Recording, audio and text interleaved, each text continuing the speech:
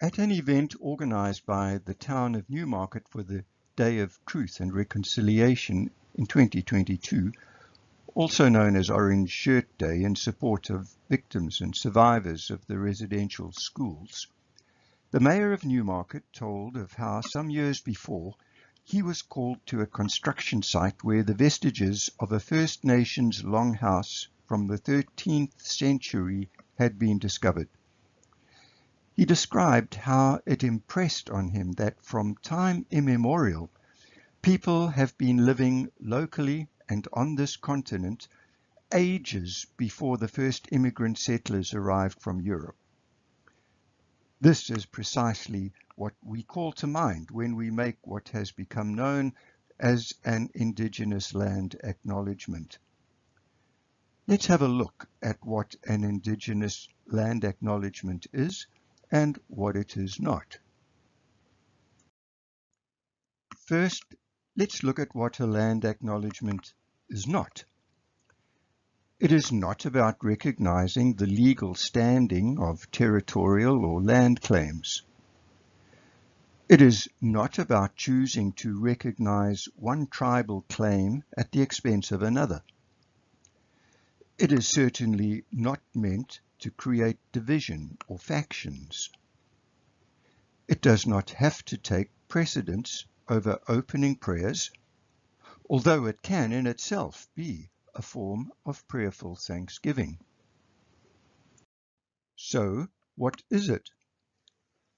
A land acknowledgement is a recognition of a relationship between people and their land a unique and enduring relationship between indigenous peoples and their traditional territories. Out of loving respect, therefore, a land acknowledgement should never be done as a form of tokenism.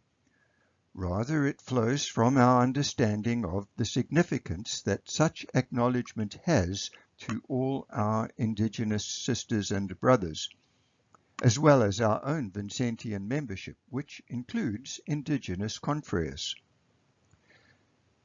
To be truly more than tokenism or a mere formality, our making a land acknowledgement seeks to contain three elements summed up in the words recognition, respect, and reconciliation or peace.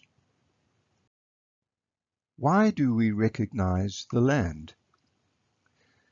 To recognize the land is an expression of gratitude and appreciation to those whose territory you reside on, and a way of honoring the indigenous people who have been living and working on the land from time immemorial. It is also part of indigenous protocol to honor the land of those you are visiting or working and living on. It is important to understand the long-standing history that has brought you to reside on the land and to seek to understand your place within that history.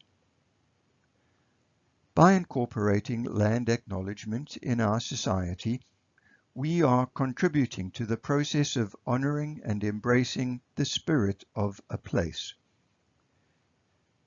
The importance of living with nature is one that Indigenous people have understood for many years, but is one we are now appreciating as part of the changing environmental concerns we all share.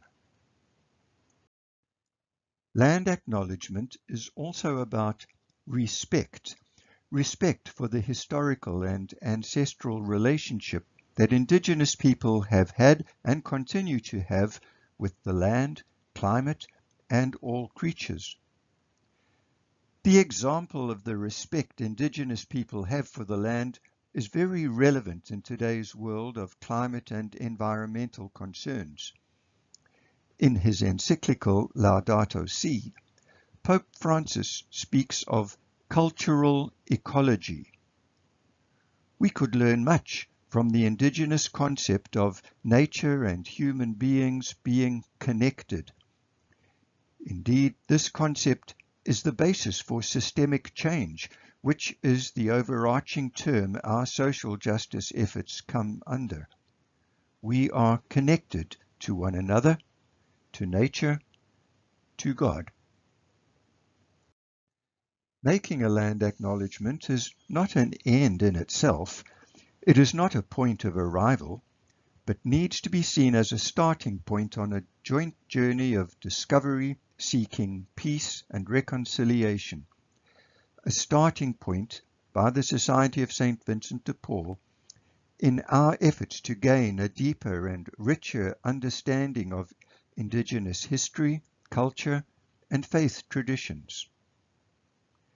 Any land acknowledgement without a sincere effort to take further actions is of little use.